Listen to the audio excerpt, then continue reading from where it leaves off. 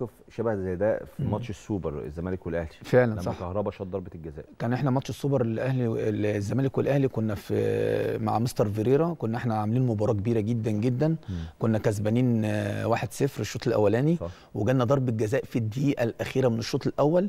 كنا طبعا آه، مستر فيريرا حاطط أول واحد هيشوط محمد إبراهيم كان تاني واحد عمر جابر على ما أتذكر جه كهربا هو اللي شاط أهو- آه، خد الكرة وراح خد الكرة وراح يشوط. طبعا مستر فيريرا نده لي أربع مرات حتى موجودة الفيديو ده موجود على اليوتيوب. آه. آه، نده لي قال لي يا طلبة كلم كهربا مش هيشوط محمد إبراهيم اللي هيشوط. مم. رحت لمحمد إبراهيم قلت له خد الكرة انت وشوط. طبعا آه، كهربا كان أخد القرار خلاص اللي هو لازم هو اللي يشوط. محمد إبراهيم آه، برضه مش عاوز يوتره. آه. خلاص وحط القرار هتبدا تتخانق على الكرة هتطلع هتطلع بره بره ضربة الجزاء خالص. آه. إنما كهربا دخل شاطها وشاطها بصراحة شوطة غريبة جدا جدا اللي هي في نص الجون ديت. الكرة دي تترد تتحسب عليها طالب ضربة جزاء عليها هنا ظلم. لو أنت جبت شفت ضربة الجزاء اتحسبت عليها ظلم. بقى واحد واحد نادي الأهلي دخل الماتش. نزلنا الشوط الثاني وهم جايبين جون جبنا إحنا جون التعادل. خلص الماتش 3 2 احكي لي بقى بعد الماتش.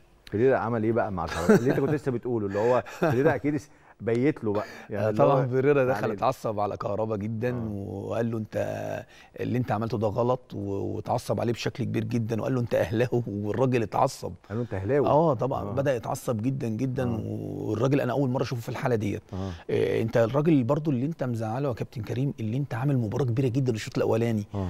وضيعت مجهود لعيبة تعبت الشوط الأولاني. مم. وانت ال- المباراة دي كانت سبب في رحيل الراجل في رحيل فيريرا آه يعني انت لو على تذكر الراجل كنا عامل موسم الحمد لله 2014 طبعاً، 2015 عظيم. أخدين دوري وكأس مع بعض. مم. كانت أمنية حياتنا اللي إحنا ناخد السوبر.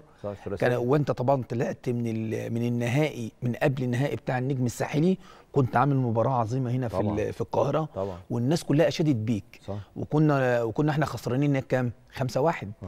وقدرنا هنا اللي إحنا نكسب 3 1 وعلي جبر اتطرد أول دقيقة. والحمد لله لعبنا 10 لعيبة.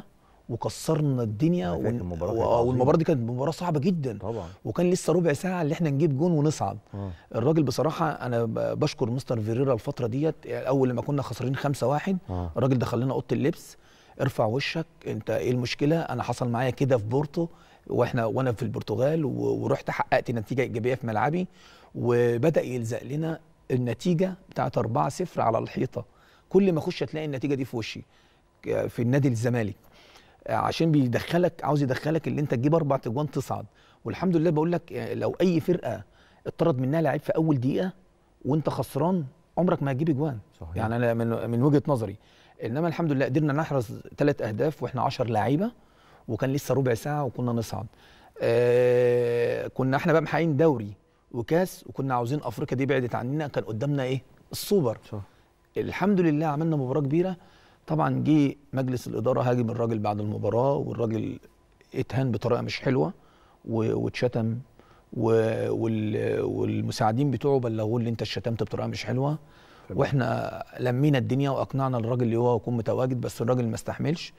الراجل ده مدرب عظيم جدا جدا وأحسن مدرب دخل مصر بصراحة من وجهة نظري. فريرة. فيريرا من الناس. واللي كان خلي بالك برضو اللي كان مرشحه لنادي الزمالك عشان برضو ما نقولش جوزيه. آه. يعني هم مدرسة واحدة والاثنين من البرتغال والاثنين اخدين شهرة كبيرة جدا جدا في البرتغال.